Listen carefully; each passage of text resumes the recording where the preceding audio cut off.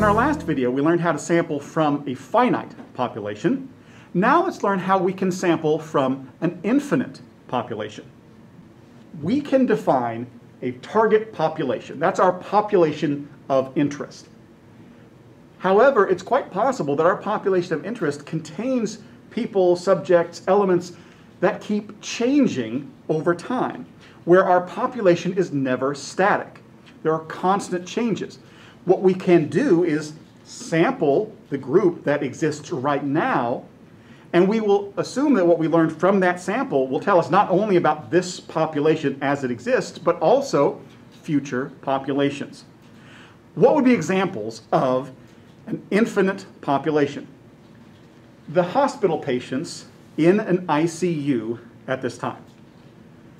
The inventory at the Amazon warehouse, is that constantly changing? New things coming in and going out? The cars coming off an assembly line.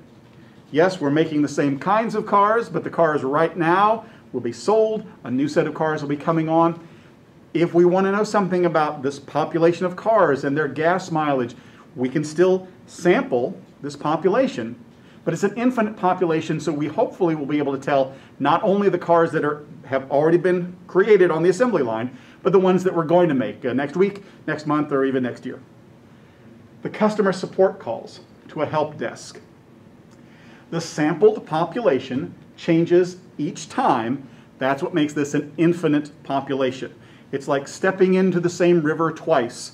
The river is constantly changing. We might think of it as the same river, but it's different than it was before. With an infinite population, we have similarities, the population now versus the population a month from now, but we can't ever totally sample or totally measure the entire population. We never really know everything that we want to know about a population. The, the mean, the standard deviation, the range, all the characteristics of that population to us are unknown. That's why we're using sampling. What we then tend to do is draw a sample from this population and we measure what we want to know. Let's say it's the mean. We get a mean of 5.3 for this first example. Then we draw a second sample. We get a mean of 4.8. A third sample gives us a mean of 5.1. So which of these means is the best, most representative mean for the population? And what we're going to do is instead of choosing just one of these means to represent our population value, we're going to take all of these means and we're going to average them. Then what we will be able to do is create a point estimate, a single number that combines to represent the population mean. Later on, I'm going to show you how we can also create a range of values in which our population mean would fall roughly 95% of the time.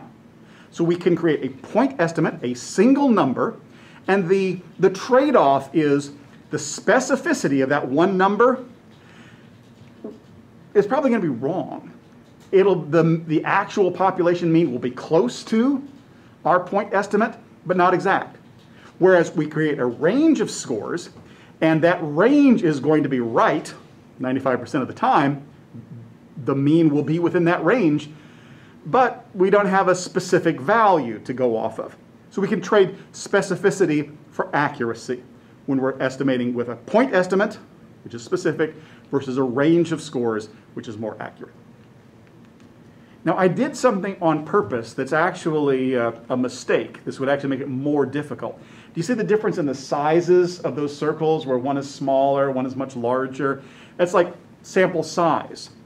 When we have different sample sizes, we would then have to weight the mean because larger samples are going to exert more leverage on our, our estimate for the population. So what we can do when we do our sampling is make sure that we always get the same sample size. That is going to allow us to create a distribution of all of these sample means. Not simply averaging them, but getting a distribution of how those means shape up for all of the possible combinations of 30 or 50 or 100 subjects from the population. Point estimation uses statistics from the sample to estimate the population parameter. And in this case, it's, uh, it's really a form of statistical inference. We're taking what we learned from the sample and inferring that that is what is true of the population. Point estimators look like these. We have x bar for the mean. The population value is mu. For standard deviation, we'll abbreviate that as SD. You'll also see it abbreviated as lowercase s. The population value is sigma. For proportions, which we're going to learn about next week, the point estimator is p bar, and the population value for a proportion is p. What distinguishes an infinite from a finite population? There's some things that we can look for. With an infinite population, there's no upper limit to the number of units, the number of patients in the ICU, uh, the number of items that are in the warehouse. Therefore, we can't create a frame of the population because we can't create a list of everyone who could possibly be in the ICU. It's continually changing. We cannot list all of the elements in the population, and so we can't use random number selection, especially on people who are either not yet in the population, but will be if they keep eating uh, hamburgers, uh, or people who are were in the population but have uh, healed up and moved on and are no longer in the population. So to illustrate the infinite population, we're going to use sampling week 11 with the ICU data tab. The ICU data is a list of 4,194 cases which we're going to treat as our population. A hospital administrator has collected data on patient admissions and length of stay, as well as some other variables like age and whether or not the individual expired or died. We're going to use the rand function to randomly select 30 cases and we'll compute the mean and standard deviation for the length of stay. And later, next week, we'll learn how to compute a proportion for those who expired. So here we are in our Excel spreadsheet. We're on the tab for ICU data. We have our length of stay listed in column E. And we have a place to put our random function. So that is where we're going to begin.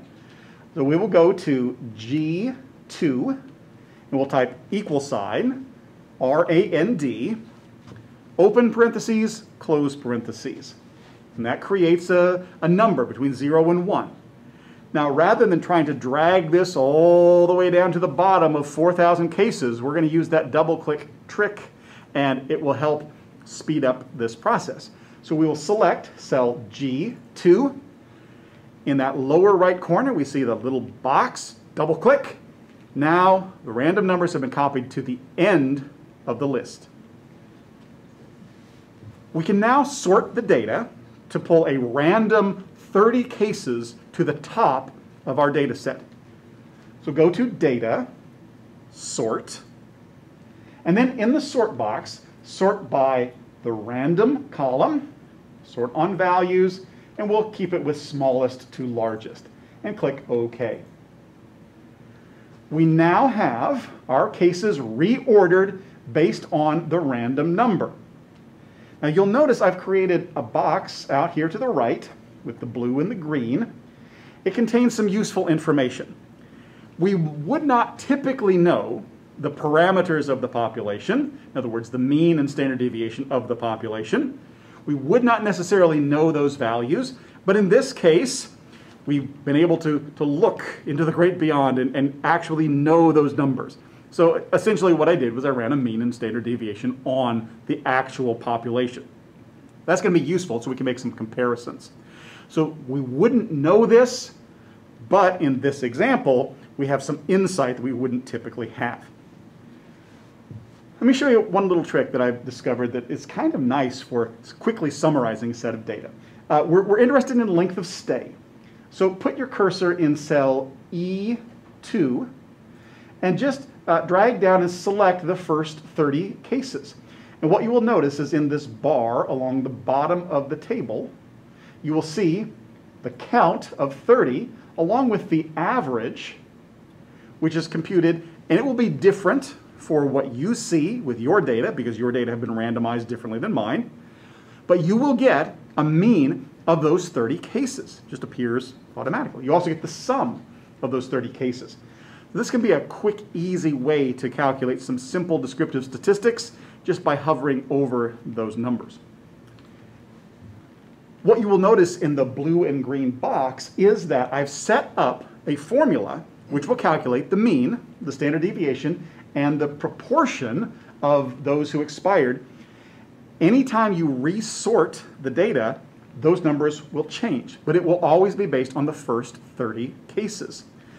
If we wanted to get a second sample, it's as simple as resorting the data.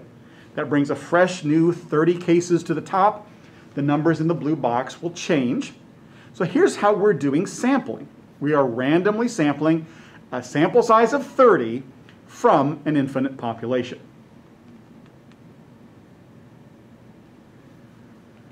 This will allow us to make some comparisons between the sample statistics and the population parameters.